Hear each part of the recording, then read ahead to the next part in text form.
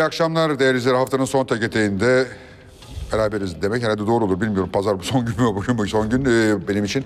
E, bu akşam tek etekte e, biraz siyaset konuşacağız başta. Sonra ise İstanbul'un önemli e, sorununa biraz e, değineceğiz. İkidir aslında bunu konuşmaya çalışıyoruz. E, sorunu gündeme tutmaya çalışıyoruz. İstanbul trafik sorununa e, değineceğiz. E, çünkü İstanbul'da bir trafik akmıyor. E, iki taksi bulunmuyor. Üç toplu ulaşımda sıkıntılar var. Dört metro parasızlıktan e, durmuştu zaten yıllardan beri. Şimdi e, bu yeni e, sayabil diyebileceğimiz belediye başkanı e, Sayın İmamoğlu e, biraz kredi mredi e, metroyu tekrar başlattı ama istenen hızla gitmiyor. Tünel inşaatları durmuş vaziyette. E, Yine tabii şimdi durmadı yani eskiden durmuştu. Ee, onu da söylemek lazım. Ee, AK Parti döneminde de durmuştu. Bunları konuşacağız. Ee, az sonra konuğum e, Orhan Demir olacak. İstanbul e, Büyükşehir Belediyesi Ulaştırma Sorumlu Genel Sekreter Yardımcısı. Ama ondan önce siyaset konuşacağız. Siyasetin nesini konuşacağız. Siyasette bir sürü gelişme var. Bir sürü gelişme derken işte o, o, e, ittifaklar var. İttif- kim aday olacak, o mu aday olacak, bu mu aday olacak, olmayacak mı, ittifaklar bozulacak mı, yeni ittifaklar mı kurulacak diye. Bekir Ağırdır konuğumuz. Ee, Bekir Ağırdır siyaseti en iyi takip eden e, araştırmacılardan e, bir tanesi. Aslında daha çok siyasi anali- analizci diyebiliriz. E, Bekir Bey'le beraber e, hem e, ittifakları konuşacağız hem e, oy oranları nereye gidiyor, nereye gitmiyor. Bir boşta yüzen e, bir kitle var. E, ta- henüz daha kararını vermemiş. Belki de seçim günü kadar vermeyecek. Onlar nereye gider? Bu aşağıdan gelen bir dip dalgadan bahsediyor. Hakikaten bu dip dalga var mı? Bu dip dalganın üstünde kim sörf yapacak? E, İyi Parti mi, Deva Partisi mi yoksa bu oylar tekrar e, AK Parti'ye mi dönecek? Evet, Sayın Ağırdır hoş geldiniz. Sizi ağırlamak e, keyifli. E, çünkü artık az nesli tükenenlerden olduğunuz için Aman efendim e, memlekette Önce bir kere söyleyeyim aşılarım oldum oldun geldim. biliyoruz. Ee, sen dört aşı oldun. Ben, Ben iki aşı- oldum. Bulursam Hayır, üçüncüyü de olacağım. de öneriyorum İki ki Sinovac, bilim- iki Biontech oldu. Aynen öyle. Bilim ve sanattan başka çıkış yolu yoktur. Yoktur. Onun için herkes bilime güvenecek. Biz tabii böyle deyince bize e, bazıları sövüyor. Hatta birisi demiş ki sende aşı alışkanlığı oldu. Aşı alışkanlık yapıyor biliyoruz falan demiş. e, Allah akıl versin. Ne diyeyim? E, aşı olursanız ölmezsiniz. Aşı olmazsanız Allah göstermesin ölme tehlikeniz var. Onu söyleyelim ve başlayalım. E, Bekir Bey şimdi siyasette tekrar muazzam bir e, ne diyeyim gerilimli, beklentili dönem başladı. Yani Gerilim. sanki artık böyle Türkiye bir seçim sattımı haline erken bile e, olsa yani vakit olarak erken bile olsa girdi ve Girdi. piyasada da bakarsan hani 2022 sonuna doğru bir seçim olacakmış gibi bir hissiyat var. Doğru. Ve nitekim eğer Sayın Cumhurbaşkanı e, Tayyip Erdoğan Cumhurbaşkanı adayı olmayacağım diyorsa belki vaktinde olur ama eğer aday olacaksa ki öyle gösteriyor bütün veriler 2022 sonunda bir seçim kaçınılmaz gibi duruyor. Böyle bir e, durumda şimdi çeşitli ittifaklar var ve bu ittifakla ilgili herkes diyor ki işte ben da- daha seçime var, ittifak seçim zamanı olur falan diyenler var, daha erken diyenler var. Ama bir önemli ittifak var ki iktidarı koruyor. Bir diğer önemli ittifak var ki ana muhalefeti e, oluşturuyor. İyi Parti ve Cumhuriyet Halk Partisi ittifakı, diğer tarafta MHP AK Parti ittifakı.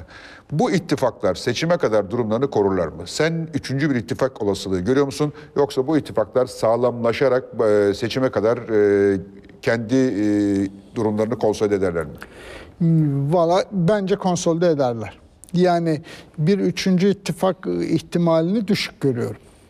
E, Bir kere iktidar blokunda bir değişiklik beklenmiyor zaten. Orada e, sorun yok. İkincisi bütün bu gerilimi üreten şey evet bir yandan siyasetin, siyasi gerilimlerin payı elbette çok kutuplaşmaydı, iktidarın diliydi vesaire vesaire ama bir yandan da reel sorunların ağırlığı ve harareti artıyor. Yani pandemi düşünsene her gün hala 200'ün üzerinde yurttaşımız Evet. ölüyor.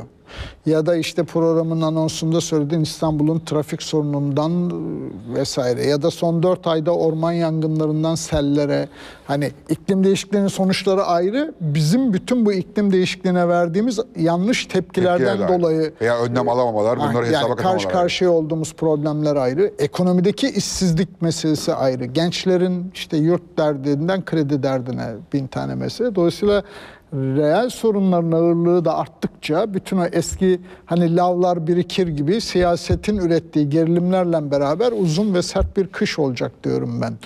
E sen bu kışın gergin geçeceğini, zorlu geçeceğini düşünüyorsun. Şunun için gergin geçeceğini düşünüyorum. Bir iktidar cenahından bakınca iktidarın yeni bir söylem, yeni bir politika, örneğin işsizliği ya da ekonomik problemleri çözmek ya da dış politikadaki gerilimleri çözmek konusunda yeni bir maharet üretemiyor diye düşünüyorum. Hatta tersine inandırıcılığını da giderek kaybediyor. Çünkü işte öğrencilerin yurt sorununa yok böyle bir şey diyor. Onlar terörist diyorsunuz. Ya da Amerika'ya gidiyorsunuz kimseyle görüşemiyorsunuz ama dönerken S-400'lerden bir tane daha alırım diyorsunuz. Bütün bunlar inandırıcılığını da yitirmeye veya hakikatle ilişkisinin iktidarın da algılarının, antenlerinin doğru çalışmadığını gösteriyor. O zaman da elindeki tek imkan her türlü değişim ya da hak talebini terör diye tanımlamak güvenlik güçleriyle bastırmaya çalışmak ve şiddet, nefret suçu, ayrımcılık vesaire vesaire. Ee, Eğer böyle devam edecekse ki iktidar ki kapasitesine baktığımız zaman öyle görünüyor. Sertlikten başka yolu yok bir yandan.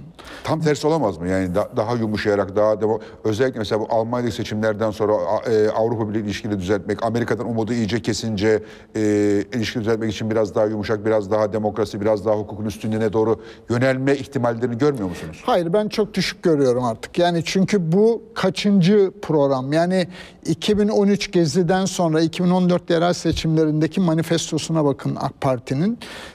2014'teki manifestosu hiç unutmuyorum ben şöyle yorumlamıştım. Gezi'den özür diliyor demiştim.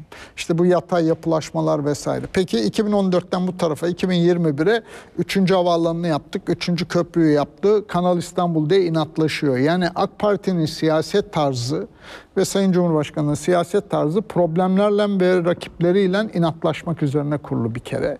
İki, kadro olarak, e, yönetme mahareti olarak bu tek kişilik bir rejime ve hani başkanlık sistemi denilen şeye geçtiğimizden beri görülüyor ki bir kere taslak bile yokmuş elimizde. Yani bir kurşun kalemle çizilmiş mimari eskiz bile yokmuş. Dolayısıyla her şeyin merkezileştiği o merkezileşme nedeniyle de aynı zamanda her şeyin savrulduğu yani yerellerde bile ya da her ilde, ilçede bile her türlü hukuksuzluğun, keyfiliğin de çoğaldığı bir dönem bu. Halbuki öyle bir sihir anlatılmıştı ki o süreç boyunca verin oyu ve döviz kuru dahil her şeyi çözmek gibi vesaire. Dolayısıyla baktığım zaman ben iktidarın hem hakikatle ilişkisi bozuluyor hem inandırıcılığı kayboluyor hem de sorunlara çözüm üretme maharetinde bir eksilme görüyorum bir yandan. Bir yandan da hem iktidarı oluşturan hani o siyasal fikrin entelektüellerinde, aydınlarında, muhafazakar dünyanın aydınlarında da iktidarın yaptığı hatalara karşı bir kopuş ve çözülme ve tartışma var. Onlar seküler dünya kadar gazetelerin önünde, ekranlarda yapmıyorlardıkları için bu tartışmayı çok fark etmiyor olabiliriz ama gerçeklikten hala ilişkisi kopmamış da kesimler var. Dolayısıyla AK Parti'de hem örgütsel anlamda hem de seçmen desteği anlamında bir çözülme var. Ama bütün bunları Tayyip Bey gibi deneyimli bir siyaset insanı görmüyor olamaz. Bunu göre göre diyelim üniversitede yurt problemi yoktur o çocuklar teröristtir dediği diyorsa e demek ki bu politika devam edecek diye düşünüyorum ben. O zaman da buradan çıkış için çünkü bir yandan da Fatih Bey şunun da adını koymamız lazım. Sadece iktidardan dolayı bunları konuşmuyoruz. Bütün dünyada yeniden bir bölüşüm kavgası var. Yani başta Rusya olmak üzere Batı bir siyasal egemenlik kavgası var. Başta Çin olmak üzere Batı bir ekonomik egemenlik kavgası var.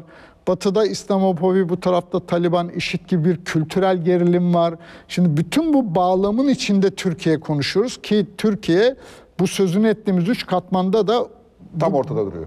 sahnesi ve aynı zamanda öznesi. Dolayısıyla şimdi bütün bu mesele yani Fransa'da, Hollanda'da iki şiddetinde deprem gibi hissediliyorsa bizde sekiz şiddetinde deprem gibi hissediliyor. Bir de kendi reel, kendi kadim problemlerimizin yanı sıra ekonomik krizimiz vesaire. Ve iktidar bunları çözemiyor gibi görünüyor. Dolayısıyla iktidarın yapabildiği tek şey şu ana kadar benim gördüğüm son iki yıldır her değişim ya da hak talebinin ya da her muhalif söylemin bir kaos üreteceği, değişimin değişim değil anarşi üreteceği gibi bir algının yerleşmesine çabalıyor. Biraz da güvenlik güçlerinin bu abartık şiddet gösterileri falan o görüntülerin toplumsal bellekte kaydedilmesi, yerleşmesi üzerine oynuyor oyunu. Dolayısıyla oradan ben çok güzel bir şey beklemiyorum ama bir yandan. Bir yandan da iktidar ortağı olarak söz edebiliriz MHP'den. Hani evet bir Tayyip Erdoğan Cumhurbaşkanlığı var ama zihnen karşımızda bir koalisyon var. Ee, MHP kadar devletin içindeki bir takım güçlerin, bir takım odakların da bu iktidara ortaklığı, zihnen ortaklığı. Yani sola bakışları, özgürlüklere bakışları, Kürt meselesine bakışları, Avrupa Birliği'ne bakışlarında bir zihni ortaklık var karşımızda. Orada da bir çözülme beklemek mümkün değil. Onun için iktidar kanadında konsolidasyon ve daha çok şiddet ve sertlik yanlılığı devam edecek diye düşünüyorum, öngörüyorum. Peki e, şimdi e, AK Parti'nin kuruluş e, döneminde parti içinde etkili olan bazı isimlerin e, son zamanlarda MHP'den bir rahatsızlık duydukları, MHP'nin de onlardan bir rahatsızlık Tabii. duyduğu ve e, MHP'nin e, katkısının AK Parti iktidara tutmaya yetmeyeceği, bu yüzden de MHP'dense başka siyasi oluşumlarla HDP gibi, İyi Parti gibi siyasi oluşumlarla ortaklık kurulmasının daha doğru olacağı yolunda AK Parti içerisinde alttan alta kaynayan ama Doğru. üste çok çıkmayan e, fakat e, siyasetin içinde olanların gördüğü, bildiği, konuştuğu bir şey var. Sizce bu sonuca ulaşacak bir şey midir yoksa olmaz mı? Ya ben çok sonuca ulaşacağını sanmıyorum. Yani herkes şu anda hani okumuş yazmış herkes diyelim ve siyaset e, erbabı ve siyaset esnafı da dahil herkes elde kağıt kalem hesap yapıyor. E, şimdi hani bu tür senaryolara e, Türkiye çok alışkın. Ama sonuçta hangi senaryonun sahne alacağı ve o dizinin tutup tutmayacağına seçmen karar Teşekkür, verecek. seyirci karar verecek. Bugün baktığımız zaman seçmen onlara çok prim vermiyor o tür senaryolara. Çünkü ortada bir reel sorun var. İşsizlik var, enflasyon var. İşte çocuklar okula yani düşünsene çok basit bir yerden gündelik hayattan konuşalım. İlk bir buçuk yıldır iki yıldır çocuklar okula gitmiyordu. Bütün çocukların bedeni iki beden büyüdü. En yoksul aile de çocuğuna ayakkabı alacak. Dolayısıyla Eylül ayı sonunda zaten enflasyonun ne olup ne olmadığını bu insanlar, bu ülkenin bütün yurttaşları sınıyor. Siz var deyin, yok deyin, fark öyle deyin, etmiyor. böyle deyin. Ne anlattığınızın önemi yok. Dolayısıyla o reel sorunların harareti o kadar yüksek ki o siyaset mühendisliğinin içinden neşet eden tartışmaların, o şehvetli kavgaların, şu bu ihtimal tartışmalarının falan bir karşılığı yok hayatta bir kere. Düşünün ki Ayasofya'yı açmak gibi muhafazakar dünyanın ya da siyasal İslamcı hareketin en ulvi hedeflerinden biri gerçekleşti ve onun bile toplumda bir karşılığı olmadı. Dolayısıyla ortada bir durum var. Dolayısıyla bu reel durumun ürettiği sonuçlar var. Ama mühendislik hesaplarıyla bu reel duruma bir cevap üretme e, çabası her zaman vardır. Ama toplumdaki bu değişimi anlamadan, toplumdaki değişimin üzerine yerleşmeden hani siz sunarken dediniz ya dip dalgaların üzerinde kim sörf yapacak? Ee, o sadece iletişimcilerle topluma şöyle bir slogan söyleyelim, böyle bir mühendislik yapalım, oradan üç kişiye buradan beş kişiyle şöyle bir kombinasyon yapalımların çalışacağını sanmıyorum. Oraları geçtik. Yani Türkiye çok daha hani çok gel gel yol geldik. Geri dönme şansımız yok. Dolayısıyla burada şu anda odaklanacağımız ya da ülkenin geleceğini belirleyecek şey illa başarılı olsunlar olmasınlar anlamında söylemiyorum. Soğukkanlı bir analiz yapma çabasıyla söylüyorum. Muhalefetteki aktörlerin ne yapacağı, çünkü iktidarın konsolidasyonu ve hala bir arada duracağı açık da ama iktidar muhalefettekilerin ne yapacağı açık değil. Yani Şu anda aslında muhalefetin yapacağı hamleler daha mı Aynen önemli? öyle. Ona bakmamız lazım, onu tartışmamız lazım, onu anlamaya çalışmamız lazım ve o hamlelerin gerçekten reel hayatın sorunları ya da toplumdaki değişimden ne kadar vücut bulduğu, ne kadar beslenip beslenmediği hikayeyi değiştirecek. Yoksa suni planda o ona ittifaka dahil oldu mu olmadı mı bu tartışmaları bu ekranlarda daha 16 ay 18 ay daha yapacağız. Ama asıl toplumun o ihtiyaç ve talepleri çünkü şunu da unutmayalım ki Türkiye toplumu değişiyor bir yandan. Yani reel Değişiyor mu sorunlar hakikaten? Değişiyor. Yani bakın bir şöyle bir metafor kullanıyorum ben. Hani baktığınız zaman böyle zamanın durduğu bir yerde donmuş bir göle bakıyor gibiyiz. O gölün yüzeyinde o kutuplaşma, kimliklere sıkışma, o donukluk dediğim şey o. Ve hani o gölün buzun üstündeki buğu da kaygı ve endişe. Şu anda Türkiye'nin toplumsal psikolojisi depresyon seviyesine yakın bir yerde. Yani biz toplumsal psikoloji üzerine bu pandemi boyunca da her ay neredeyse iki araştırma yaparak izlemeye çalıştık. Dünya Sağlık Örgütü'nün de geliştirdiği bir depresyon endeksi var. O endekse göre Türkiye toplumu şu anda depresyon eşiğinde. Eşiğinde, içinde değil henüz. Yani yarısı da eşiğinde zaten. Üstelik gelecek algısı kısalıyor, çaresizlik çoğalıyor, umutsuzluk Yani toplumda çoğalıyor negatif bir hava hakim. hava. Ama buzun altına indiğiniz zaman mesela bir gündelik hayat pratikleri üzerinden söyleyeyim. Gündelik hayat pratiklerinden baktığınız zaman muhafazakarlarla sekülerler arasındaki o kutuplaşma mesela Yok, eriyor. Eriyor yok. Eriyor. Evet. Tabii tabii. Ben bunu hep söylüyorum. Kimse bana inanmıyor. Hayır. Yani gölün altında filizlenmeler var bir sürü konuda. Ama o filizler mi bu buzu çatlatacak, yukarıdaki güneş mi çatlatacak onu bilmem. Ama büyüyor. Başka bir şey, bütün bu süreç boyunca yani pandemi ve bu siyasal gerilimler biz şöyle bir şeyin peşine düştük. Ya bu kadar kutuplaşma, kimliklere sıkışma hiç mi ortak alanımız kalmıyor peki? türü. Böyle özel tasarlanmış bir takım araştırmaların temel bulgusu olarak şunu söyleyebilirim. Tıpkı hani nasıl türban artık toplumda çözüldü diyoruz. Kürt meselesi bile neredeyse toplumda çözülmeye yakın bir yere geldi. Geldi mi? Çünkü bütün bu tartışmaların bir katkısı var bir yandan. Bir. bir. İki, pandemi ve ekonomik dertler, bu gerçek sorunlar ve bir yandan da göç, metropolleşme vesaire ve bir yandan da işte medya yani düşünün ki ülkenin yüzde 85'i internete dahil. Yüzde 80'e yakın insan sosyal medyaya dahil. Yani haberin, bilginin, deneyimin anonimleştiği bir çağ bu. Tamam orada yanlış bilgiler de var, teyide muhtaç yanlış manipülatif bilgiler de var vesaire ama yine de pandemi döneminin bence şöyle iki önemli kazanımı oldu. Bu pandemi can derdi hepimizde önce kendi hayatımıza özen göstermeyi, sonra eşimize, dostumuza, sonra da komşumuza, yaşadığımız mahalle özen göstermeyi, memlekete özen göstermeyi yeniden öğretti. İki, dayanışmayı öğretti. Dolayısıyla bütün bu metropolleşme, bütün bu siyasi gerilimlerin dışında bu iletişimdeki yoğunlaşma, birbirimizden haberdar olma hallerinin ürettiği bir yumuşama ve birbirini anlama çabası var. Ama toplum, sade bireyler, yani örneğin iklim değişikliği bile. Yani bugün bu konuda bir basın toplantımız vardı bir araştırma ile ilgili. Herkes farkında ne olup ne olmadığını. Ama toplum ya da sade birey çareleri böyle zamanlarda dönüyor, size bakıyor, partilere bakıyor, aydınların okumuş yazmışlarına bakıyor, bana bir yol gösteriyorlar mı diye. Farkındalık konusunda Türkiye insanının bir sorunu yok.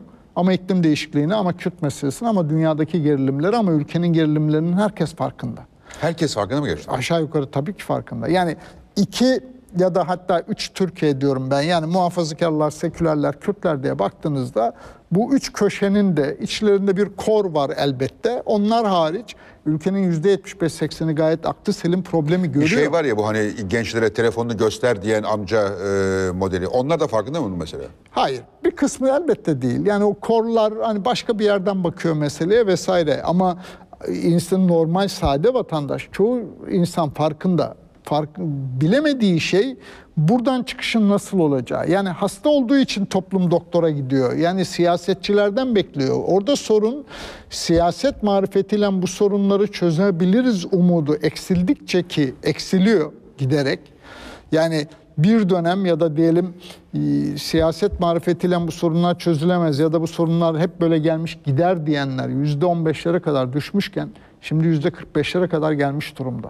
Siyasetten umutsuzluk neyi üretiyor? Eğer o zaman ortak yaşama iradesini eksiltiyor. Yani ne olması gerektiğini biliyor ama yapmak için de bir gayret ve enerji gösteremiyor. Çünkü ben yapsam da öbürü yapmıyor diyor. O zaman da emniyet şeridine girmeyi ya da kırmızı ışıkta geçmeyi ya da ruhsatı dışında bina yapmayı doğal, Doğal kendine hak görmeye başlıyor. Yanlış olduğunu bilmiyor değil. Herkes onun yanlış olduğunu biliyor. Dolayısıyla bugün toplumun önüne yeni bir hikaye, yeni bir gelecek, yeni bir umut inşa etmeden öyle ya hani güneş doğarken birbirimizi öpelim, barışalım demek mümkün değil. Onun için bir ortak heyecana, ortak başarıya, ortak umuda ihtiyaç var. Bunu da siyasi aktörler sağlayacak. Eğer iktidar benim biraz önceki varsayımlarım yanlış çıkabilir ayrı ama benim varsaydığım ve öngördüğüm gibi iktidar bu dile devam edecekse o zaman bu hikayeyi, bu ortak umudu oluşturma sorumluluğu, yükümlülüğü muhalefet aktörlerinde. Şimdi o zaman da işte hani bütün bu programın gündüzden beri söylediğiniz işte Cumhurbaşkanı adayı kim olsun meselesi falan da buradan bu ihtiyaç ve taleplerden konuşursak başka bir şey. Elimizde kağıt kalem mühendislik hesaplarından konuşursak başka bir sonuca varırız. Peki hangisi sonuca vardır bizi gerçekten hocam? Mühendislik hesapları mı yoksa Türkiye gerçekleri mi? Türkiye'nin vadede. gerçekleri. Benim iddiam odur. Öyle mi? Yani ben bugün Türkiye'nin gerçekten bir kavşağa yaklaştığını ve bir karar vermek durumunda olduğumuzu sanıyorum. Sadece o iktidar bu Cumhurbaşkanı adayı ismi meselesi değil. Problemlerimiz o kadar karmaşık ki bir kişiye bağlanacak ne nedenleri olarak ne de çözümü olarak kaderimizi bir kişiye bağlamak durumunda olmadığımız kadar kritik bir kavşakta olduğumuzu sanıyorum. Dolayısıyla sözünü ettiğim ortak umut, ortak heyecan ancak herkesin muhafazakarı, seküleri, Kürdü diye bakın, eğitimlisi, eğitimsizi diye bakın, beyaz yakalısı, mavi yakalısı diye bakın ama bütün farklılıklarımızdan o yeni ortak hikayeye de onurumuzla var olduğumuzu hissedersek Türkiye bu beladan sıyrılır. Ama kendimizi var hissedemediğimiz her hikaye ve mühendislik ya da o seçim gecesi günceleden biçimlenmiş tablo problemimizi çözmeye yetmeyecek. Peki hemen o zaman e, muhalefet tarafı için iktidar tarafı ne olduğu, ne yaptığı, e, geçmişi belli ve bundan sonraki davranış modeli 3 aşağı 5 yukarı sizin başlangıçta söylediğiniz gibi açıklamalardan belli. Yani sorunlarla ilgili e, ya e, itiraz edenleri suçlu ilan etme veyahut da sorunları yok sayma e, Aynen dediniz. E, bu da çözüm üretmiyor ama buna mukabil iktidar hala birinci parti, iktidar partisi. Doğru. Doğru. Ve yani yakın arada değil yani 10 puana yaklaşan iddiaya göre bilmiyoruz. Kimine göre 10 puan, kimine göre 4 puan. Yani 26-22 diyen Ama de var. birinci parti hala Birinci AK Parti. parti olduğu kesin. Ee, bu durumda bizim muhalefete bakmamız lazım. Ve 20 yıllık bir iktidarın hala bu denli az yıpranmış olması e, diyeyim büyük anlamda muhalefetin e, belki de yetersizliğini ya da politik e, üretimsizliğini gösteriyor diyebiliriz. Muhalefetin payı olduğu kadar tabii e, şu yani bütün meseleyi de muhalefete yıkmayalım. Muhalefetin payı elbette var ama aynı zamanda hem dünyanın ve insanlığın yaşadığı bu kimlik problematiği ve bu kimlik problematiği üzerinden iktidarın sörf yapma kabiliyeti ve sonunda bir ekonomik e, reformlarla başlayan hikayenin sonunda bir kimlik kutuplaşmasına çevirme mahareti vesaire gibi iktidarın da payı ve kimlik problemlerinin de payı var bu işte. Dolayısıyla bugün e, hala iktidarda duranların önemli bir kesimi artık ağırlıklı olarak kimliklerinden hareket eden insanlar. E, e, dolayısıyla tam da işte muhalefetin başarıp başaramayacağı kritik olan şey şu. Eğer bu seçim kimlikler üzerinden yeniden oynanırsa 3 aşağı 5 yukarı 1 puan artı eksi hani bir sonuçlar değişebilir ya da Cumhurbaşkanlığı bile değişebilir ama ülkenin sorunları çözülemez. Dolayısıyla asıl meselemiz kimlikleri aşan yeni bir ortak hikaye üretmek meselesi. Muhalefetin bunu inşa edip edemeyeceği meselesi. Dolayısıyla AK Parti evet bütün toplumsal desteğinde çok ciddi bir aşınma var neredeyse başlangıç noktasına civarına geri dönmüş durumda. Hani bir zamanlar kendi Evet. başına %50'leri 52'leri alırken Şimdi artık 2000, 2002 seviyesine 2002 gelmişiz. seviyesine gelmiş durumda. O seçmenin de neredeyse üçte ikisi kimliğinden hareket eden seçmen. Yani Müslüman kimliğinden de ötürü mü? Evet, dindarlıktan, Müslümanlıktan vesaire. Ee, Ve bir kısmı da bunların daha kor bir kutuplaşma üzerinden bakan, hani e, işte Atatürk'ü Deccal diye tanımlayan, e, siyasal İslam üzerinden Ama bakan onların vesaire. yüzde on falandır Türkiye'de. 10 bile %30 değil belki 10 bile ama değil. yine de var yani. Var. Dolayısıyla o kor. E, bir yandan da tabii hani işte bu düzenin içinde e, Düzen değişirse kazanımlarını kaybeder kazan- diyen var. Maddi Yani, veya manevi. evet. Dolayısıyla burada hikaye muhalefet blokundakilerin nasıl bir siyaset üretip üretemeyecekleri. Yani eğer kimliklerin kutuplaşması üzerinden ki hani şimdi yani şöyle bir analiz yapmama izin verin. Belki bir fazla cümle kuracağım ama 2011'den sonra aslında Türkiye bakarsanız 3 yerel seçim, 2 cumhurbaşkanlığı seçimi, 2 referandum, 4 tane mi ne genel seçim yaptık. Bütün bunlarda belirleyici olan ana dinamik kimliklerimiz oldu. Kimlikler üzerindeki kutuplaşma oldu. O nedenle diyelim hani oranlar seçime katılma oranlarına bağlı olarak değişti ama CHP'nin oyu 11 milyon artı eksi o civarda. İşte HDP'nin oyu 6 milyon artı eksi o civarda. AK Parti'nin oyu 22-24 milyon aralığında. Yani sayılardan baktığınız zaman sayılar değişmedi neredeyse. Ekmelettin İhsanoğlu aday olduğunda da yine ikisinin toplamı olan 17-18 milyona geldi. Aday olmadığında da. Şimdi dolayısıyla burada meselemiz giderek ama şöyle bir değişim oldu. Bu kimlikli reel sorunlar arttıkça iktidar bu başkanlık sistemi dediği o sihirli formülü toplum evet bir kredi açtı verdi. Ama sonuçta problemler çözülmediği gibi ağırlaştıkça o kimlikleri olan aşkla hareket etmek ya da bir partiye sadık seçmen hareketi dediğimiz şey aşınmaya başladı ve aşk ilişkisi bozuldu belki hani amiyane tabirle ama negatif karşı taraf olan nefret ilişkisi hala var. Devam ediyor. Yani duygusal kutuplaşma veya negatif kimliklenme dediğimiz hikaye. Dolayısıyla yerel seçimleri 2019 yerel seçimlerini belirleyen şey CHP'nin İyi Parti'nin daha doğru adaylar, daha doğru söylemlerinden daha çok elbette bunun payı var. Ama asıl belirleyici dinamik karşı tarafın iktidar blokunun bu tarafa karşı kurdukları dil ve o negatif kimliklenme olduğu. Yani artık öyle bir yere gelindi ki bugün bile eğer sadece buradan oyun oynanırsa muhalefetin adayı o kadar tartışılıyor ya. Siz de olsanız buradaki herhangi bir kameraman arkadaş da olsa zaten yüzde kırktan başlayacak iktidarın bu politikası nedeniyle. Dolayısıyla bu negatif kimliklenmeye geldi. Ama şimdi sorunlar devam ediyor. Üstüne bir de pandemi bindi. Üstüne bir de ekonomik kriz ağırlaşıyor. Üstüne bir de bütün bu iklim değişikliğinin ürettiği seller, orman yangınları vesaire yaşanıyor. Şimdi o nedenle bu negatif kimliklenme de çözülmeye teşne bir hale gelindi ama o birdenbire olmuyor ki. Yani şimdi futboldan daha kolay anlatırım. Şimdi siz Galatasaraylısınız ve ruhunuzda, yüreğinizde, çocukluğunuzdan beri gelen bir şey var. Öyle kolayca vazgeçilmiyor bazı şeylerden ve seçmenin oyu da öyle her gün hepimizin elinde oy. Her gün sabah televizyonda haberi bakalım ha bugün şu partili olayım demiyor ki insanlar. Ama çok kitle halinde kopuşlar yaşandığını gördük Aynen siyasette. öyle. Yani Tabii, tabii, en son tabii. 2002 seçimlerinde çok ağır bir kopuş gördük. mesela. Kesinlikle. Dolayısıyla bugün aşağı yukarı tam da sözünü ettiğiniz gibi yani 28 Şubat 99 Marmara depremi, 2000-2001 ekonomik krizleri, o 4 yıl Türkiye 12 Eylül'den sonraki o 20 yıllık süreci doğru kullanamadı. Bütün dünyada çağ değişirken teknolojiler, göçler, kentleşmeler vesaire ve öyle bir travmayla var olan bütün aktörleri oyun dışına attı. Bugün Türkiye toplumu böyle bir travmaya yaklaşmış durumda. Yaklaştı mı ya oraya? Yaklaştı. Travma bir kere problemin farkında herkes. Ve o yüzden de şöyle bir durum var. Yani şöyle bir modelden anlatayım. Bir seçmen partisine olan sadakati çözülüyor, eleştirileri yoğunlaşmaya başlıyor. Birdenbire oradan vazgeçtim demiyor elbette. Diyelim sempatizan seçmen diyoruz biz. Çekirdek seçmenlikten sempatizanlığa kayıyor.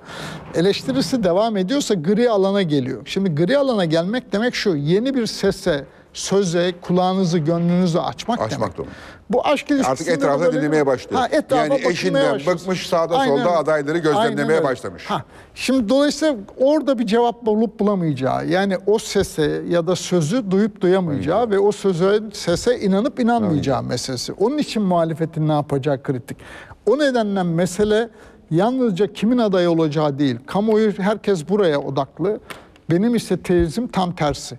Kimin aday olacağı meselesi değil. Eğer Erdoğan karşısında Fatih Altaylı seçimi yapılırsa kazanma ihtimali hala yüksektir. Ya da Erdoğan karşısında Kılıçdaroğlu seçimi yapılırsa hala kazanma ihtimali vardır. O yüzden meselenin Erdoğan versus karşısında kim olduğu sorusundan çıkarılıp bu gidişat mı ülkenin kaderi, bu gidişat mı seçimine çevrilmesi lazım. Yani muhalefetin bir kişiye ya da bir iktidar partisine muhalefetten, sistem muhalefetinden yeni bir oyun, yeni bir siyaset üretmesi lazım. Ama sanki bunu yapmaya başladı gibi geliyor muhalefet. Evet, çabalıyorlar. Biraz, biraz yapmaya Doğru. başladı. Doğru. Yani Paradoksal- gerek Babacan'ın çıkışları, gerek e, Kılıçdaroğlu'nun Doğru. bazı yaklaşımları, gerek e, Aynen öyle. Ahmet Davutoğlu çok fena. Kendi oy almıyor ama AK Parti'yi çok yıpratıyor. Aynen öyle.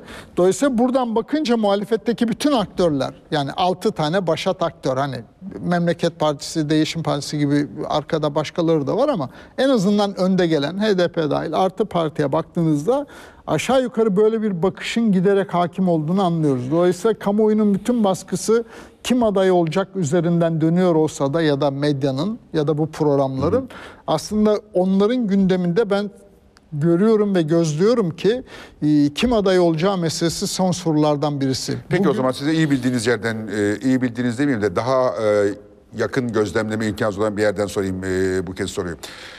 Cumhuriyet Halk Partisi. Cumhuriyet Halk Partisi'nde e, Kılıçdaroğlu uzunca bir zamandır egosunu aşağı çekmiş vaziyette bir ittifaklar oluşturma çabasındaydı ve bu çabanın sonucunda da hakikaten e, büyük kentleri yerel seçimlerde büyük kentlerin önemli bir bölümünü e, ve en kritik büyük oldu. kentlerin tamamını kazandı. İttifa, e, Millet İttifakı. Ve burada Kılıçdaroğlu'nun o kendini öne çıkarmayan tavrı çok önemliydi ve hep geride durdu. İlk kez olarak Cumhurbaşkanlığı adaylığı konusunda Kılıçdaroğlu'nu iddialı görüyoruz. Yani diyor ki adayım, adayım, adayım, adayım. Ee, bu tabii biraz e, şaşkınlık yarattı. Bende de Adayım yarattı. demiyor da aday olabilirim. Aday olabilirim diyor. Hatta son olarak aday, neredeyse adayıma getirdi işim. Ee, CHP içerisinde birisi gibi Bekir Ağırdır ona bu aklı verdi dedi bana. Ee, ben de güldüm. Ee, Hatta bunu yazdım da. Ee, siz de güldünüz. Şimdi Evet. gördüm. Ee, Cumhuriyet Halk Partisi ben hep şey de düşünüyordum. Kılıçdaroğlu böyle diyor çünkü e, gerçek adayları çıkartıp yıpratmak istemiyor ve Millet İttifakı'nın bunu kendi içinde uzlaşma e, zemininde bir yer e, aramasına imkan sağlamak istiyor. Bu yüzden de böyle diyor diyor. Ama artık ciddiyete binmiş gibi görünüyor. Hakikaten sizce ciddiyete bindi mi? Kılıçdaroğlu'nun böyle bir şansı olmadığını ve bana göre tabii siz daha iyi bilirsiniz. e, fark etmiyor mu? Şimdi bakın çok samimiyetten söyleyeyim. Ee, Böyle bir şansı var veya yok diye bir kanaatim ve fikrim yok. Riskleri var, fırsatları var. Herhangi her bir aday için, sadece Kemal Bey için de değil, her bir aday için. Bugünden şu aday olursa kazanır demenin de mümkün olmadığını düşünüyorum ben. O yüzden de 33 haftadır Oksijen gazetesinde ya da işte 52 haftadır T24'te internet sitesindeki bütün programlarımda ve yazılarımda tam da biraz önce size söylediğim şeyi savunuyorum. Bu seçimin kim kişiler, adaylar üzerinden bir seçim değil, sistem üzerinden bir seçim olması gerektiği kanaatindeyim ben. Ama benim dışarıdan baktığımda birincisi bu böyle bir kanaatim yok. İkincisi benim herhangi bir liderle aday ol veya olma diyecek yakınlığım yok. Böyle bir temas ve ilişkim de yok ayrıca. Ama ben aktif yurttaş olmaya çalışan, araştırmacılıktan öte aktif yurttaş olmaya çalışan, memleketin geleceği için burnunun direği sızlayan bir insan olarak da hemen her partiyle konuşuyorum, konuşmaya çalışıyorum ve bu programda ne söylüyorsam onlarla da kapalı odalarda aynı şeyleri söylüyorum bir kere. Samimi kanaatim de bu. Belki de eğer varsa bir kredim bu samimiyetimden geldiğini sanıyorum. Şimdi söylediğiniz şey bence şöyle ben şöyle okudum Kemal Bey'in e, bütün bu çabasını. Şimdi sonuç olarak baktığınız zaman hani işte yine biraz önceki üçlemeden gidelim. Muhafazakarlar, sekülerler, Kürtler diye baktığınızda her kimliğin içine sıkışmış partiler var. Yani Saadet Partisi sekülerlerin içinden neşet eden bir parti değil sonuç olarak işte. Muhafazakarların içinden neşet eden bir parti. CHP sekülerlerin partisi. İyi Parti muhafazakar dünyadan seküler dünyaya doğru kentleşmekte olan yeni değişen sosyolojinin partisi. Ali Babacan'ın partisi de oraya bir cevap üretmeye çalışıyor vesaire. Ama sonuçta bu partiler isteseler de istemeseler de var olan bu kimliklere sıkışma tablosunda bir kimliğin temsilcisi gibi duruyorlar. Eğer sözünü ettiğim o ortak heyecan, ortak umut inşa edilecekse bu kimliklerin temsil edildiği ama bir kimliğin ağırlığının değil, ortak alanın ilkelerinin belirlendiği bir ittifakla başarı ihtimali var. O zaman da meselemiz şudur. Masaya oturdukları gün bu 5 lider, 6 lider ya da 2 lider aday kim olsun veya hangi ilkeler etrafında bunu yapıyoruz oturdukları gün temsil ettiği kimlik adına masaya güçlü oturma oyunu oynanıyor şu anda diye okuyorum ben. Meral Hanım'ın söylemini de böyle okuyorum, Ali Bey'in söylemini de. Hatta hatırlarsanız Babacan şöyle bir cümle kurmuştu daha ilk günlerde. İttifakta yer alır mısınız, almaz mısınız? Çok haklı olarak demişti ki Daha- ya daha bir önce kimliğimizi, kişiliğimizi geliştirelim. Şimdi dolayısıyla o masa ne gün kurulacaksa o güne hazır olmak bir yandan bu. İki, aynı zamanda da kendi örgütüne, kendi bir parti diye bir şey var ortada. Örgütler, il başkanları, belediye başkanları. Şimdi hatırlayın yerel seçimin ikinci günüydü. Ekrem İmamoğlu aday olacak mı olmayacak mı tartışmasına başlandı. Daha ne yapıp yapmayacağını görmeden. Dolayısıyla bütün bu kaosun içinde Kemal Bey'in de Meral Hanım'ın da ben tavrını hem kendilerinin masaya en güçlü oturacakları pozisyonu hazırlamaya çalışmak hem de örgütlerine ve partilerine hakim olma çabası diye Şimdi okuyorum. bu anlattığınızda Meral e, Hanım'ın e, iki gün önce söylediği ben aday aday değilim ben başbakanlığa adayım cümlesi bir hayal kırıklığı yaratıcı e, unsur değil mi? Bence açısından? hayır. Bence hayır. Tam tersine ben o mesajı şöyle okudum. Yani o mesaj size bana değil daha çok iktidar ve iktidarın cengaverlerine yani ne kadar üstümüze gelirseniz gelin bizi bozamazsınız demiş oldu. Yani Öyle ben? Cumhurbaşkanlığı iddiasından bile vazgeçmeye hazırım derken çünkü iktidarın yapabileceği şey hani üçüncü ittifak meselesi de biraz oradan çıkıyor. İktidar çevresindeki cengaverlerin, yandaşların savunduğu şeylerden bir tanesi çabaları bu tarafta CHP ile HDP'yi HDP üzerinden yalnız bırakmak, öbürlerinin bir başka üçüncü ittifak oluşturması meselesi.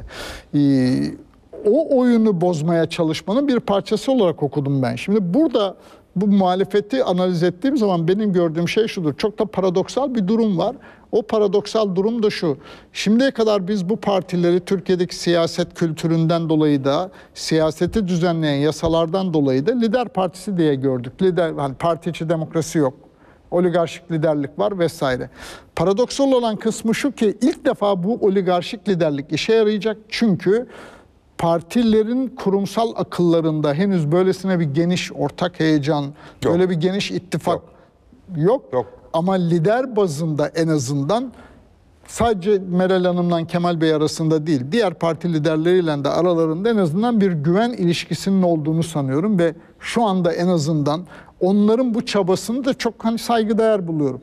Bütün bu adaylık tartışmasını birazcık kamuoyu itekliyor buraya. Hay her ikisinin ya da her beşinin böyle hayalleri vardır. Yastığa başını koyduğu zaman hayal ediyordur ayrı konu. Onu ben bilemem. Siz de bilemezsiniz. Hiç Niyet okuyacak halimiz yok. Ama kamuoyunun açık kısmında yapılanın birazcık da hem parti örgütlerini bir yere doğru çekmeye çalışmak. Yani şimdi son bir ayda bile olanlara bakın. Kemal Bey bir dedi ki Cumhuriyeti demokratikleştirelim. Şimdi bu cümle mesela çok önemliydi. Bir CHP liderinin ağzından çıkışı itibariyle. Peşinden HDP'yi meşru gösterip gö- görmek görmemek meselesi. Ama aynı zamanda daha hemen ertesi gün hatta o akşam İyi Parti sözcüsü Musavvat Dervişoğlu da HDP konusunda bir açıklama yaptı ve Kemal Bey'in o söylemini destekleyen. Peşinden Meral Hanım'ın şimdi bu söylemi. Bütün bunlar bir şey gösteriyor. Bütün bunlar en azından CHP ile İyi Parti arasında ya da liderlik düzeyinde bir güven problemi olmadığını ve bir yandan da başka bir şey daha açıklandı biliyorsunuz. İşte bir takım komisyonun, komisyonların çalışmaya başladığı. Çünkü asıl tartışmamız gereken kısmı o Fatih Bey. Şimdi bakın önümüzde senaryolar ne? Bir, iktidar ve Tayyip Bey 51 49 50 buçuk 49 buçukta olsa kazanabilir. Bir azdır ihtimal çoktur ayrı bahis ama kazanabilir. İki Cumhurbaşkanlığı seçimini kazanabilir ama parlamentoyu kaybedebilir ya da tersi, olabilir. olabilir. Üç 50 buçuk 49 buçuk olsa da muhalefet kazanabilir. Ama bütün bu senaryolarda bu sistemi değiştirecek ve ülkenin gidişatını değiştirecek siyasi güç çıkmıyor. Yani parlamenter rejime geçecek anayasal çoğunluk. Mesela aynen öyle. O zaman da bugünkü bu keyfiyetçi her şeyi tek insana bağladığımız sistem devam edecek ve o aday her kimse o sabah mührü aldığı andan itibaren Meral Hanım'dan da Kemal Bey'den ya da CHP'den de İyi Parti'den de bağımsız bambaşka bir insan ve bir güç var elinde. Şimdi o zaman ülkenin reel sorunlarını nasıl çözecekler? Yani o koalisyon nasıl sürecek? Zihni koalisyon diyelim ya da parlamentodaki koalisyon nasıl sürecek? Hangi ilkeler etrafında sürecek? Örneğin Avrupa Birliği'ne ne diyecek? Rusya ile ilişkilerde ne olacak? ABD ile ilişkilerde ne olacak? İşsizlik için hangi radikal politikaları üretecek? Şimdi dolayısıyla bir geçiş dönemi meselemiz var bu siyasal çoğunluğa ulaşamazlarsa, o siyasal çoğunluğa ulaşmaları için hem %57-58'den fazla oya ulaşmaları lazım hem de sadece bu oy oranı yetmez. Hem muhafazakarların hem sekülerlerin hem Kürtlerin temsilcilerinin bu zihni koalisyonda ve o siyasal gücün içinde arkasında olmaları lazım. Bunların birinin eksikliğiyle yeni bir Türkiye inşa edemeyiz.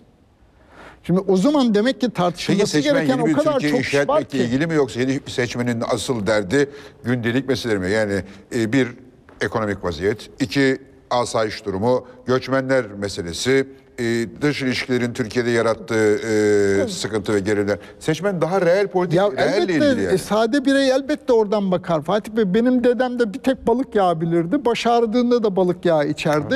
Be- Yel Yani girmişlerdi demek istediğim o sırtı benim yani. ağrıdığı zaman. Şimdi sizin söylediğiniz çok mesajlı, çok temelli, çok şeyli orga- e, bir muhalif organizasyonu seçime bir yıl kaldığını bu kadarını varsayarsak. bu kadarını illa top bakın şu şöyle bir yani temelde şöyle bir farkımız var bu tartışmalarda ya da ben galiba şuradan Ya bir yerden farklı bakıyorum. şey e, evet doğru yaklaşım olur ama pragmatik değil yeterince gibi geliyor bana. Ama bu topluma ve seçmene güvenmek zorundayız Fatih. Güveniyoruz zaten güveniyoruz. Sorun tamam. yok. Şimdi bakın bu seçmen ve bu ülke 1950'de Kurtuluş Savaşı'nı yapmış, Cumhuriyeti kurmuş kadroların partisine değil muhalif partiye oy verdi ve iktidar değişti. 60 darbesini yaptı askerler, başbakan dahil insanları astılar. O hareketin devamı olduğunu gizlemeyen Demirel'e oy verdiler. ve iktidarı değiştirdiler. 83'te ne olduğunu biliyoruz işte. 700 bin insan işkencelerden geçti. Özal'a oy verdiler ve değişti. Bu ülkenin insanları problemleri bilmiyor değil. Bir kere her şeyden önce seçmene güvenmek zorundayız. Benim tezim çok naif bulabilirsiniz, çok romantik gelebilir vesaire ama bütün bu tartışmanın eğer kimliklere sıkışmaktan, kimliklerin ürettiği duygusal ambargolardan kurtulacaksak bunları açık yüreklice seçmenin önünde, toplumun önünde tartışmaktır. Ve toplumun oradan bir uzlaşma üretmesini sağlamaktır. Çünkü konuştuğumuz hemen her problem özü itibariyle ama sınıfsal ama kültürel her meselenin evet devletin demokratikleşmesiyle ilgili bir yanı var ama aynı zamanda toplumun iç problemi haline dönüşmüş durumda. Bu Kürt meselesi içinde böyle, laiklik tartışmaları içinde böyle vesaire. Toplumsal uzlaşmayı nasıl inşa edeceğiz? Yani bir gün bir sabah güneş doğarken birbirimizi öpelim kapının önüne çıkıp barışalımla olmuyor ki bu iş. Bu bir süreç. Bu süreci, bu seçim sürecini de bu inşanın bir parçası olarak muhalefet organize eder, yönetebilirse siyasal gücü de Ben elde edecek bu- oyu bu- alabilir. Bu, bu, bu mesaj bir sene içerisinde seçmene geçebilir mi? Geçebilir elbette. Çünkü şu anda herkes toplum şu anda kendini çok arada sıkışmış hissettiği için ilk defa bu kadar muhalefete ya da farklı seslere ve sözlere kulağını açtı, aklını açtı. Toplum şu anda var olan iktidarla ilişkisini en azından kendi destekçileri bile önemli oranda çözmüş durumda ama henüz gemiyi de başka bir yere, başka bir umuda bağlamış durumda değil. Dinlemeye hazır. Şimdi o dinlemeyi siz efendim işte ÖTV almayacağım, KDV'yi sıfırlayacağım, asgari ücreti 5 bin lira yapacağım. Bu bir dürtme etkisi hani teorideki tabiriyle. İnsanların size dönmesini sağlarsınız. Ama size inancı, güveni inşa etmeniz için asıl başka bir hikaye anlatmanız lazım. Seçmen de öyle sadece o an için size vaatleriyle hareket ediyor değil. Evet duyguları var ama bir yandan da reel sorunları var. Ama bir yandan da kimlikleri var. Yaşanmışlıklar var, tarih var, toplumsal bellek diye bir şey var. Dolayısıyla böyle bir iletişimcinin icat ettiği bir şey değil. sloganla bu iş yani Obama'nın kampanyasını yapalım yapan reklamcıyı bulalım bize bir slogan yazsın abi. Keşke bu kadar kolay olsaydı E, bunu- ama böyle bunu değil. biliyorsunuz e, denemişti. E, Biliyorum. Anavatan Partisi e, Jacques Seger'e getirmişlerdi. Büyük bir olmuştu. Peki şimdi biz aslında yani. bütün yaptığımız her türlü yorum bir anda boşa değil mi? Niye boşa değil mi?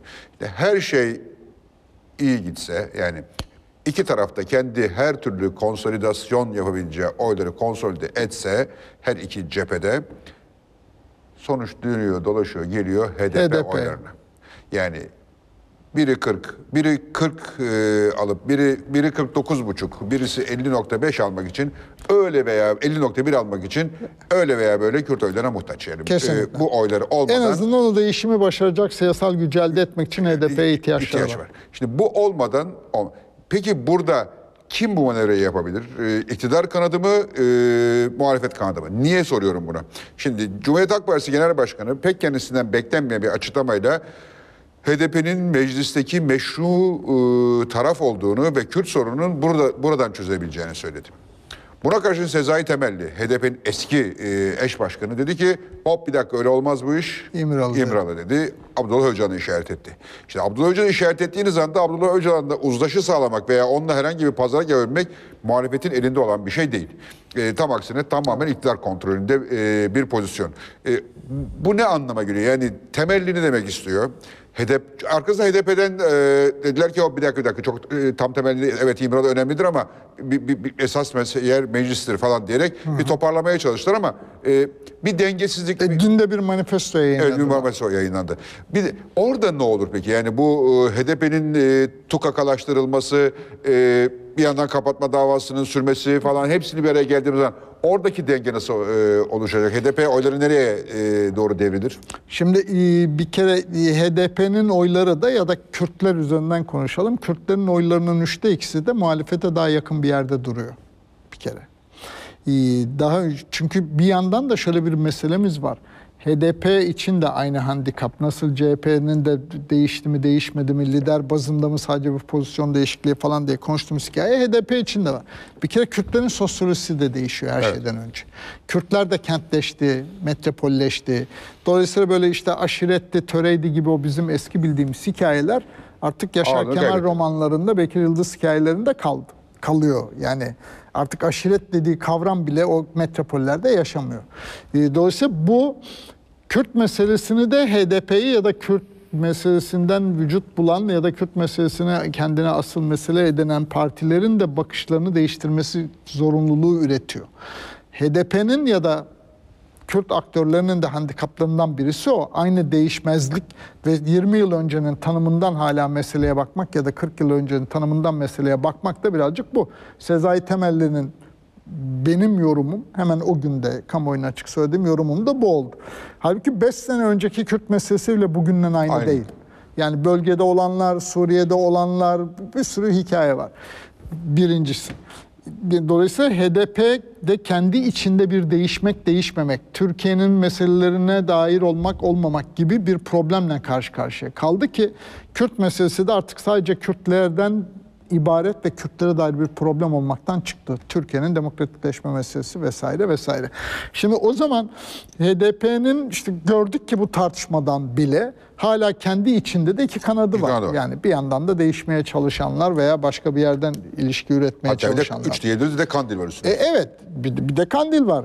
Yani burada zor şu handikapı anlayabiliyorum. Yani aynı sosyolojik tabandan beslendiği için PKK'da, HDP'de ne nerede karışıyor, sınırlarını nasıl çizmeleri gerekir gerekmez meselesi ayrı bahis.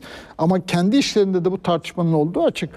Ama bu problemi sivil siyaset ve sivil siyasi aktörlerle konuşmanın ve çözmenin dışında da bir yol yoktur. Benim de samimi kanaatim o. Ee, ve de CHP ve İyi Parti en azından bu konuda bir hamle yapmış oldu. Ama HDP'nin kurumsal kimliğinin ürettiği de bir takım handikaplar nedeniyle de hani daha ölçülü ve dikkatli davranmaya çalışıyorlar vesaire. Ama bugünden baktığımız zaman bu değişim içinde 2011'lere kadar Kürt seçmenin neredeyse yüzde 50'si AK Parti'ye oy veriyordu. Yüzde 35-40'ı HDP'nin öncüleri sayılan partilere oy veriyordu. Ve hani zaman zaman e, Tayyip Bey de söylüyordu ya Kürtler nasıl partisi biziz diye doğru da yani. Ama aradan geçen bütün bu süreç yaşananlar Türkiye'de de Suriye'de de dünyada da yaşananlardan sonra ve sosyolojik dinamiklerden de etkisiyle şöyle bir noktaya gelindi ki bugün Kürtlerin artık üçte ikiye yakını HDP HDP'nin ekoloji politikasını bildiği için değil, Değil. kadın politikasını da bildiği için değil ama Kürt kimliği de bu kadar ezilmeyi, hoyrat davranışı hak etmiyor duygusuyla bile Kürt burjuvazisi bile artık HDP ve ardından kim gelecekse ona oy verecek. Şimdi burada iktidar da şimdiye kadar benim gördüğüm yanlış okuduğu şeylerden biri yeniden o eski oy tabanına ulaşabileceği varsayımı. Ama sadece sosyolojik gerçeklik değil, siyasi gerçeklikten dolayı bile HDP'siz bir Türkiye'yi inşa etmek ya da Kürtlerin temsilcileri olmadan, o kimin olacağı ayrı bahis. Ee, Ama Kürtlerin temsilcilerinin dahil olmadığı süreçlerle yeni bir anayasa yapmak örneğin, uzlaşmak mümkün değil. Dolayısıyla bunu bu açıklıktan toplumla tartışmak lazım. Çünkü burada bir başka handikap var. Problem şimdiye kadar Kürtlerle devlet arasındayken özü itibariyle ya da böyle başlamışken çözülmeden geçen bunca yıldan sonra artık Türklerle Kürtler arasında da bir psikolojik sorun haline dönüştü. Dolayısıyla bu tarafta sadece CHP'nin ve İyi Parti'nin bunu anlıyoruz ya da ittifaka alıyoruz demelerini hemen birebir bir artı bir artı bir üç olmayacak. Çünkü burada da bir direnç var. Yok varsa yani Kürtlerin kimlik talepleri olduğu kadar Türklerin de güvenlik talepleri var. Şimdi iki talebinde anlaşılır ve haklı tarafları var. Şimdi o zaman bunu siyaset uzlaştıracak, siyaset toplumun önüne bir formülasyon üretecek veya bunu toplumdan tartışarak inşa edeceğiz. O nedenle eğer mesele HDP veya İyi Parti ya da işte Deva Partisi o ittifakta var mı yok mu tartışmasından ne kadar ağırlıklı olarak çıkarıp da bir sistem ve yeni sistemin temel ilkeleri ne olsun, temel hedef ne olsun tartışmasına çevirebilirse muhalefet, yani benim biraz önce sözün ettiğim Erdoğan mı, Fatih Altaylı mı seçimi değil, bu gidişat mı, başka bir gidişat mı seçimine çevirebilirse o zaman bu HDP dahil mi değil mi, Kürtler hangi adaya oy verdi vermedi tartışmasından çıkar ülke ve o siyasal çoğunluk e, oluşabilir. Ama orada oluşursa yani sadece kimlikler ve partilerin temsilcileri üzerinden kimin listesinde kimin kaç tane adayı var tartışması ve kim aday olsun tartışmasından yürürse ve hele bugünden bir de adaylığı belli olan yerden yürürse Türkiye'nin ben 18 ay önümüzdeki 18 ayda sadece o aday isimleri etrafında koparılacak fırtınayı bile ve onun üreteceği tortuyu bile yönetmekte bir yeni meseleyle karşı karşıya kalırız diye düşünüyorum. O nedenle de dönüp herhangi bir lidere ya da herhangi bir iş insanına ya da herhangi bir akademisyene sen aday ol olursan da seçilirsin demem böyle bakmadığım için de mümkün değil. Peki Bekir Bey şimdi başka bir yere geçeceğim.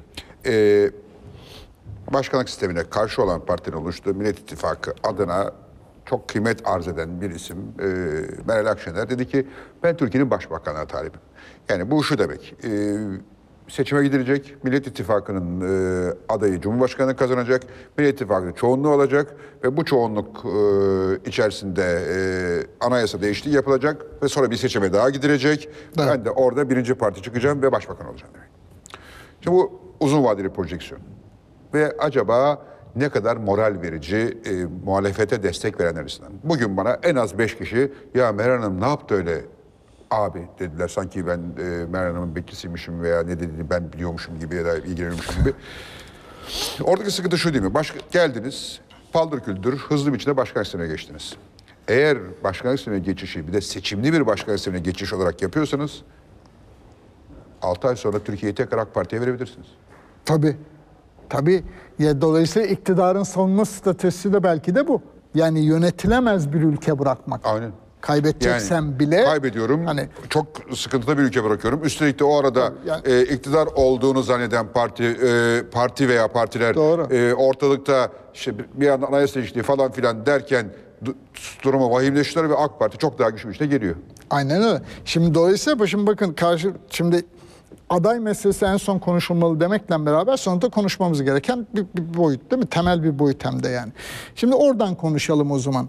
Şimdi bu aday bir ittifak oluşturan bütün aktörlerin yönetim kurulları veya liderlerince onaylanacak.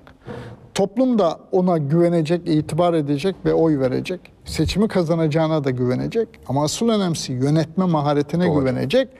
Daha da önemlisi başka bir adımı var. O aday bütün bu tek başına her şeye hakim olduğu mührü kendi rızasıyla Sıyla vazgeçecek. Birkaç, bir, birkaç sene içinde vazgeçecek. Demek ki aday için kriter o kadar çok ki öyle hani ya toplum tanıyor mu? Bir anket yapalım 72 insan Fatih Altaylı'yı tanıyor. E tamam tanıyor. Tanıyor. Ama oy vermek başka bir şey. Dolayısıyla anketlerle aday seçilmez bir kere. Belediye başkanı adayı da seçilmez. Dolayısıyla bu amaçla kondaya her başvurana biz Cumhurbaşkanı zamanının Cumhurbaşkanı adayları dahil paran cebinde kalsın dedik. Böyle anket yapılamaz. Bu bir varsayım. Tanınıp tanınmadığınızı ölçer. Güvenip güvenmediğini ölçer ama oy verip vermemeyi ölçmez şimdi. Birincisi o. O zaman karşınız bu muhalefet kanadının önündeki mesele hem bu süreçlere dayanacak sabrı inşa edecek ve de gerçekten de kararlılığı inşa edecek ve o hakimiyeti kuracak bir kadroyu bir yandan oluşturacak. Dolayısıyla bir tek başkan konuşmuyoruz. Konuşmuyoruz. Merkez Bankası Başkanı kim olacak? YÖK Başkanı kim olacak? RTÜK Başkanı kim olacak? Değil mi? Yani tütün ve işte tekel bilmem ne denetleme kurulu başkanı kim olacak? Yani karşı karşı olduğu problem Türkiye'nin sadece bir başkan değil seçmek ki. meselesi değil. O zaman bu ancak benim biraz önce anlattığım bir süreçten olabilir gibi bir kanaatim var ve onu paylaşıyorum. Yanlıştır doğrudur ayrı zaman gösterecek. Ama burada pratiğe ne döndüğümüz zaman ülke için bir kere bir en kısa zamanda bile parlamenter sisteme dönecek güce ulaşsa muhalefet. Yani 400 milletvekilini aşması lazım parlamentoda değiştirmesi için. Ya da 370 milletvekilini aşması lazım. Parlamentoda değiştirip halk Peki oyuna aşması götürecek. lazım mı? Yani e, iktidarı kaybetmiş bir AK Parti e, mecliste sistem değişikliğine evet demez mi? E şimdi muhalefetteki bazı aktörlerin bu varsayıma yaslandığını biliyorum. Ama benim de tezim ya AK Parti yani varsayılıyor ki hani kaybedince parlamenter sisteme dönmeye AK Parti de razı olur. Mansur AK Parti Ama- bugün bile istiyor olabilir parlamenter sistemden. Ya mümkün olabilir. AK Parti'nin içinde bunu tartışan insanlar da vardır. Hiç şüphe yok. Tayyip Bey'in ne düşündüğü önemli. Tayyip Bey'in eğer siyaset tarzını en azından 20 yıllık hikayesini biliyorum ben. Öncesinde zaten bu dünyada değildim. Onun için bilgim ya yok. Ama Tayyip Bey'in siyaset tarzına bakıldığı zaman böyle bir tavize vermeye hazır olduğunu sanmıyorum. Muhalefet düşerse de mi vermez diyorsunuz? Hayır. Yönetilemeyen bir ülke bırakmak gibi bir savunma stratejisi kurduklarını sanıyorum. Yani şimdi hani konuşuyoruz. Yani şöyle düşünün. Orman yangınının göbeğinde hani siz de ben de tanıyoruz ve bu ülkede herkes tanıyor değil mi Tayyip Bey? Orman yangınının göbeğinde Marmaris'e o 500 arabalık konvoyla gidip bir de çay atmayı Tayyip Bey'e 94'te veya 2004'te ya da 2014'te hiç Kimse kimse yaptıramazdı. E, tamam. Bugün yapıyorsa ya, Ya bugün- gerçeklikten bugün yaptırabilen ilişki- birileri var E, tamam ya gerçeklikten ilişkide bir sorun var ya meseleleri analiz etmekte bir sorun var ya da kendilerince başka bir strateji var. Ben şimdi rasyonel akıl yürüterek bu Ama hala birinci partiyken ve hala seçim kazanma şansı varken niye böyle bir strateji yürütsün ki? E Ama ama şimdi bu kadar güçten sonra geri dönüş e, çok kolay bir şey değil. Ama onun yerine eğer şimdi şu anda mesela belediye başkanlarıyla yani işte Ankara'yla, İzmir'le, İstanbul'la yaşananlara baktığım zaman ne yapmaya çalışıyorlar? Yönetemiyor Ekrem İmamoğlu ya da Mansur Yavaş demeye çalışıyor. Toplumda o duyguyu yeniden üretmeye çalışıyor. Bir yandan da şimdiden zaten ya kazanımlarınızı kaybedeceksiniz ya da işte bu özgürlük talebi denen şey ahlakı bozar, onu yapar, bunu yapar vesaire gibi başka bir hikaye kurmaya çalışıyorlar. Ama bir yandan da burada sadece artık o noktada devletin içinde, bürokraside ya da asker dahil, güven, MİT dahil veya da diğer bürokratik kadrolar dahil ik- iktidarın bugünkü yaptıklarıyla bir zihni paralelliği ve hedefi olan güçlerin, odakların kimse onlar onları ben bilmem. Ama bir zihni koalisyon var karşımızda. Onların oyun planının ne olduğunu bilmiyoruz. MHP'nin de oyun planının ne olduğunu bilmiyoruz. Yani MHP nerede tamam bitti bu iş der, der mi? Ne gün der onu da bilmiyoruz. Ama sadece Tayyip Bey'e bakarak bir takım analizler yapmaya çalışıyoruz. Dolayısıyla benim kanaatim o ki seçimi kaybetsek bile 6 ay sonra bir sene sonra yeniden yeni bir seçimin zorunlu olacağı bir şeyi, e, iklimi daha çok arzular gibi geliyor bana. Hemen parlamenter... onu mu arzular yoksa e, çok e, her şeye rağmen 30 puanlar civarında kalmayı becerebildiğini düşünürse ya biz her halükarda e, Türkiye'de iktidar partisi oluruz. Niçin e, %50 gibi ulaşması zor önümüzdeki- ve mutlaka önümüzdeki- ittifak gerektiren bir hedef. Toplum böyleyse de biz topluma saygı duyduk deyip parlamenter sisteme dönemezler mi? Önümüzdeki 12 ayda ya da 18 ayda o diyelim 34 35'in 20'ye doğru mu geriliyor, 50'ye doğru mu geri çıkıyor bilmiyoruz ama. Yani E, Deyin ki, Şimdi ki dolayısıyla onların da bir oyun şeye planı var kendilerine. Herhalde hemen hızla onlara inmeyecek. elbette inmeyecek. Yani ya birinci Hayır, parti inmez. olacak ya ikinci parti olacak. Muhtemelen Aynen öyle. birinci parti olmayı Aynen öyle. sürdürecek. Yani yani. hayatımızda daha çok uzun bir süre AK Parti var olacak. Ben çok uzun süre yani seçimi kaybederse ne kadar uzun süre kalır kalmaz onu bilmiyorum. Yani orası ayrı bir tartışma konusu ama yani e, hemen arkasından bir seçim gelirse muhakkak ki AK Parti bir kez daha e, güçlü biçimde gelme ihtimali barındırıyor. Aynen. E, o yüzden de yatmaz mı buna yani? Hayır şu bence Yani siz yani diyorsunuz ki başkanlık sisteminde Tayyip Bey inat eder diyorsunuz. zorlar. Zorlar. En fazla şu taviz vermeye ister. Yani partili cumhurbaşkanlığı olmasın, Olmasın. vesaire gibi. Yani biliyorsunuz hep şöyle yani burada diyorum ya elinde kağıt kalem hesap yapan sadece parti esnafı değil. İşte iş dünyası da bu işlere hak verdiğini varsaydığımız bir sürü insanlar da bu hesabı yapıyor. Bu hesaplardan ya da umutlardan birisi ne? Ya da temel varsayım şu. Eğer bu ülkenin yüzde yetmişi muhafazakar, %30'u böyle seküler bir dünyadan besleniyorsa yani bu ülkede eski tanımlarıyla konuşalım bir sağ iktidar kaçınılmazsa beş vakit namaz kılmasın ama cuma namazını da kaçırmayan bir muhafazakara razı olalım diyen işte sermayesinden e, örgütlerine bir sürü de insan var. var. Biraz da buradan böyle Türkiye mühendis- bunlar yönetti zaten. Buradan E, mühendislikler dışarıda çıkarırsak. üretiliyor vesaire vesaire. Ama Türkiye'nin sorunu şu anda sağ sol olmak noktasını geçti. Türkiye'nin sorunu önce hepimizin sağcı veya solcu, muhafazakar veya seküler, Türk veya Kürt onuruyla var olduğumuzu hissettiğimiz bir ülke haline gelmek diye daha temel bir meselemiz var. Asıl benim siyaset erbabını uyarmaya çalıştığım şey bu bakışım. Yanılıyorum olabilir ama ben Türkiye'nin bugün önce gerçek bir durumu inşa etmek yani hepimizin içinde var olabildiği bir ülkeyi ve siyasi iklimi inşa etmek onun içinde siz sadece ben solcu olabiliriz o başka bir şey. Ama önce o hedef durumda uzlaşmak. Dolayısıyla muhalefet de iktidar da böyle bir yerden oyun kurabilirse başka bir şey. O zaman da ama şunu biliyoruz. Her halükarda bugünkü tabloda önümüzdeki 18 ayda çok şey değişebilir elbette. Ama bugünkü tablodan baktığımız zaman hemen 6 ay sonra değilse bile 2023'e atfedilen bir önem var ya hani Cumhuriyet'in ikinci yüzyılı başlarken ne olacak meselesi. O önem bu seçimde olmaz o oyun. Bu seçim o gerçek seçimin kostümlü provası haline dönüşür. O seçim 2025'te mi olur, 26'da mı olur bilmem ama bir iki yıl, üç yıl sonra yeni bir seçim demektir. Öyle de olsa böyle de olsa isterse o siyasal gücü elde etsinler ister etmesinler. Yani 2022'den sonra veya 23'ten sonra 2 yıl 3 yıl içerisinde bir seçim daha olur. Evet benim benim öngörüm 2022'nin sonbaharında bu Bir seçim. seçimin yapılacağıdır. Sonra da 2026'da gerçek bir hani işte diyelim Avrupa Birliği'yle tamam mı devam mı ya da işte Avrasya ya efendim Şangay Beşlisi'ne mi döndük Avrupa Birliği'nde mi kaldık gibi kritik kararları vereceğimizde asıl ama önce hem reel problemlerin hem de toplumsal psikolojinin hem de siyasi Yani bu seçimi sistemin AK Parti'de kazansa, muhalefet, Evet. AK Parti tarafında kazansa, muhalefet tarafında kazansa siz bir 2000 sonra rehabilitasyon, bir daha. geçiş dönemine ihtiyacımız var. Peki e, herkes bir e, dip dalgadan bahsediyor sizin de e, bildiğiniz gibi. Doğru. E, gerçekten bir taraf kararsız seçmen kitlesi var. Doğru. Siz bunların AK Parti'ye dönme ihtimalini ne kadar e, görüyorsunuz? Yani, Daha düşük görüyorum. Ee, Şunun için AK Parti yani bunları bunları e, parti oranlarına göre dağıtmak şu anda doğru bir şey değil o zaman. Hayır, bir kere bir bu büyüklük kendi başına bir şey ifade ediyor. Matematik olarak dağıttık da o sayıyı bulduklar. Yani bu kendi başına en büyük parti haline gelmiş bir kitle varsa orada bu sosyolojik olarak da siyasal olarak da bir şey ifade, İfade ediyor birincisi. İki, Yani bunu öyle partilere göre dağıtamazsınız. Doğru değil. Yani onun için Çünkü her, neredeyse bir parti kadar her raporumuzda biz yazıyoruz. Bunu yapmak zorundayız ama bu sayılara inanmayın İnanmayın. demeye getiriyoruz özü itibariyle. İkincisi AK Parti'ye diye dönme ihtimalini düşük görüyorum. Şunun için düşük görüyorum. AK Parti'den çözülen kitleler AK Parti muhafazakarlığın siyasetini, dindarlığın siyasetini zayıf yapıyor, eksik yapıyor diye ayrılıyor değil ki. Değil. Ekonomik nedenle gündelik hayatındaki meseleler nedeniyle ayrılıyor. Halbuki AK Parti hala bu kimlik siyasetine devam edecek belirtiler gösteriyor sürekli ve dil de öyle devam ederse bu insanların oraya dönmesi için bir sebep yok. Yok.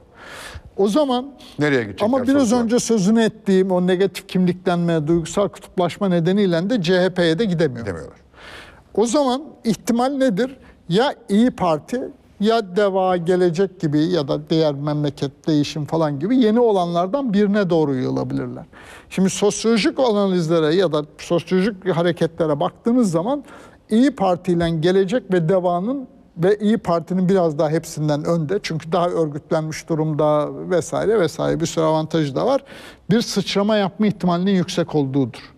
Yani AK Parti'den çözülenler MHP'ye doğru meyledemiyor. MHP çünkü sorunlarla AK Parti arasında bir yerde değil, sorunlarla AK Parti'den de ötede bir yerde konumlandığı için yol üstü bir durak değil. Değil. Yani o zaman da bu insanlar şimdi bir emniyet şeridine arabayı çekti bekliyor. Emniyet, eğer o duygusal kimliklenme, duygusal da pozisyon devam ederse CHP'ye karşı veya HDP'ye karşı İyi Parti'ye, Deva'ya ve Geleceğe bir yere doğru rampalayacaklar hani amiyane tabiriyle. Onun için de İyi Parti'nin bir sıçrama yapma ihtimali Siz en çok İyi Parti'nin sıçrama yapma ihtimali sıçrama ihtimali yüksektir. Ee, Çünkü sosyolojik değişim de kentli vesaire.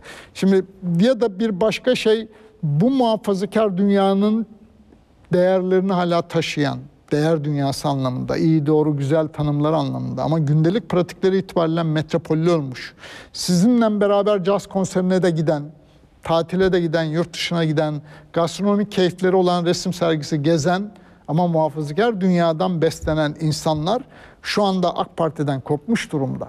Ve onlar bir biçimde bu seçimin gidişatını, gidişatını değiştirecek önemli aktörlerden birisi. Hani herkes Kürtlere odaklanıyor da asıl burada hikayeyi Bunlar bir kitle değiştirecek kitlelerden birisi orası. Orada da çok ciddi bir potansiyel var çünkü.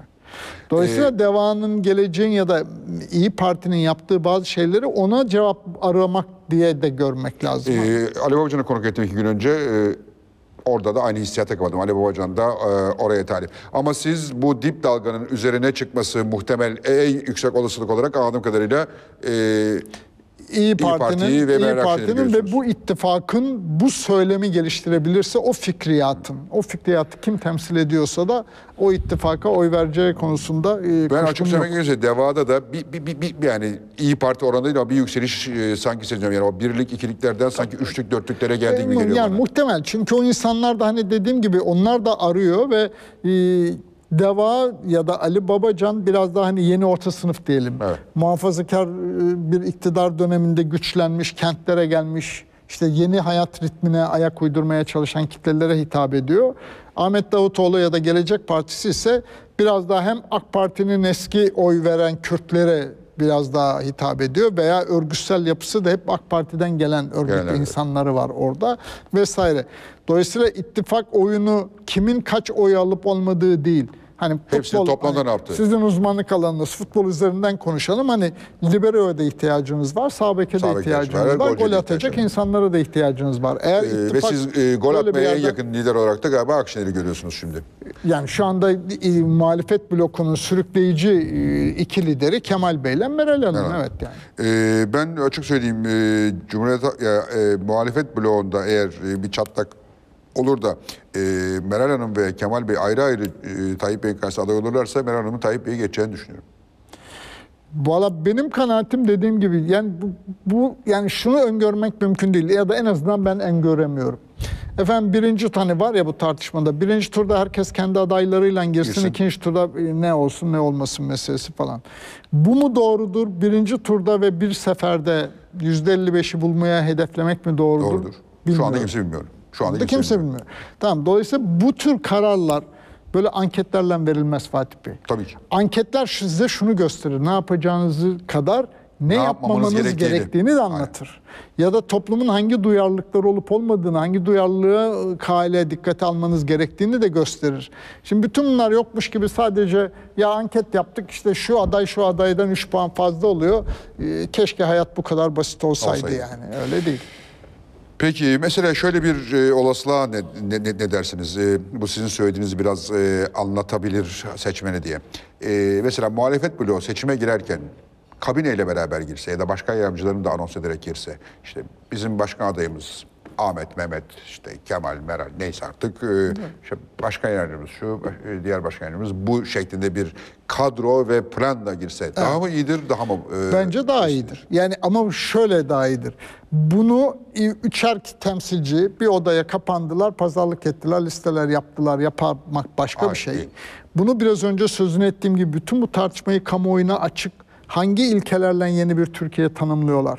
Parlamenter sistem lafı yetmez. Yani ne demek parlamenter sistem? Şimdi burada mesele denge denetleme mekanizmalarının e, güçler ayrılığının doğru inşa edilip edilmemesi, yerel yönetimler reformu nasıl yaptığı, yapacağınız vesaire gibi bir dizi başka şey. Eğer bu tartışma kamuoyu önünde açık tartışılarak hem toplumun da sivil toplumun da buna dahil olması sağlanabilirse burada kritik şeylerden birisi şu Fatih Bey. Ülkenin yüzde 45'e yakın insanı eğer siyaset marifetiyle ülkenin sorunlarının çözüleceğinden umudunu kaybediyorsa demek ki siyasetin itibarını inşa etmek diye de bir mesele var. var. Siyaset üzerinden bu sorunları çözebiliriz umudunu, inancını inşa etmekte de gereğiniz var.